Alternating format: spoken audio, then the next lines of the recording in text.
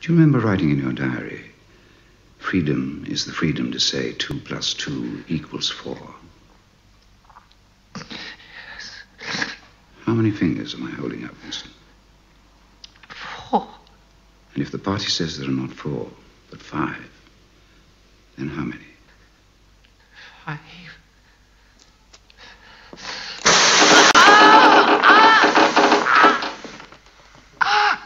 No. That's no use. You're lying. How many fingers, please?